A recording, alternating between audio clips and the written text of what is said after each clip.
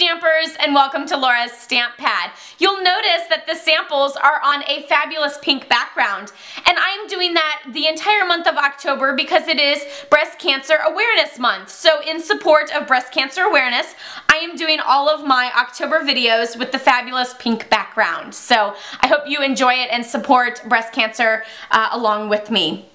Last week, I showed you the Woodland embossing folder here and showed you how to add color to your embossing folder um, with sponge daubers like these two and then also um, by debossing and adding it to the trees.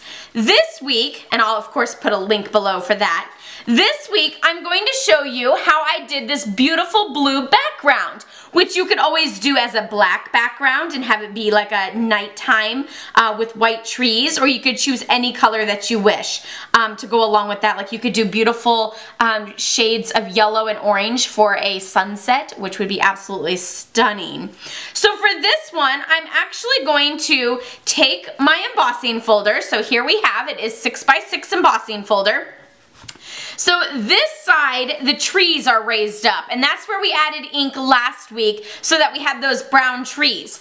This week, we're actually going to add ink to the other side, which is the background, and the trees are the things that are set in in all of the grooves. So again, you can use your ink pad. I'm using Pool Party, and you can just tap it on as you wish. Or you can take a brayer like I did last week, and this is your brayer, so it's got the little foam wheel here, and just ink up your brayer, and then ink up your embossing folder.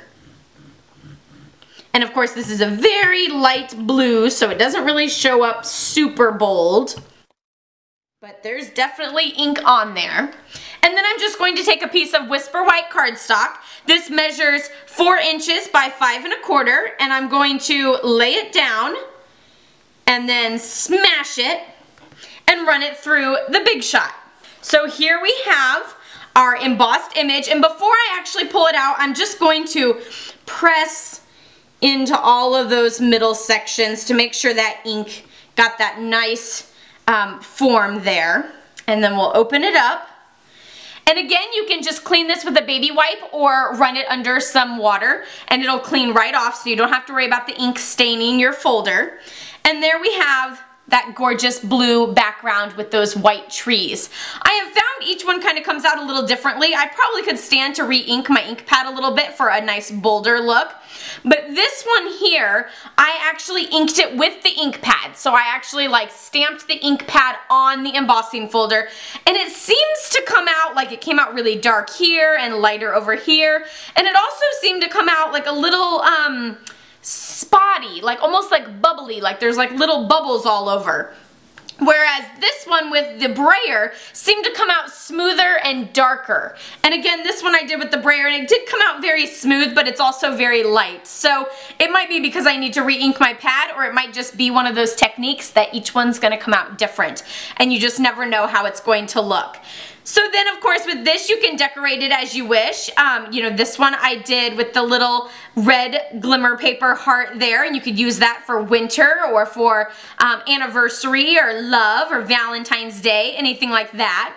This one I actually used the Lovely Amazing You stamp set and then I used, uh, for the flowers and the punch there, I used the Sprinkles of Life stamp set with the coordinating tree builder punch. So this one's very springy with the pastels and everything. So you can really get a fabulous look for all of your upcoming seasons and holidays as this one's very, you know, rustic looking would also go very well for spring and a great man card, I thought. Then this one, of course, for your Halloween and your spooky times.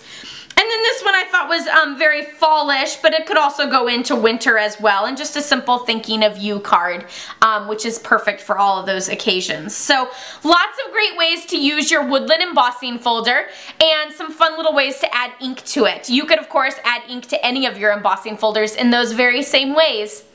Hope you try it out. Let me know what you think whenever you um, do. Then definitely leave me comments down below. Feel free to share your photos down below as well. I'd love to see your creations. Don't forget to check out my blog, laurasstamppad.com. Once each of these is posted, um, I will post the link down below so that you can see each of those. So if they don't all show up on the first day, um, don't worry. It's because not all of the um, all of the blog posts have been posted just yet. So I will eventually have them all posted once all five of the cards um, are on my blog as well. So don't forget to check that out, laurasstamppad.com, and give this video a thumbs up if you liked it. Happy stamping. Bye-bye.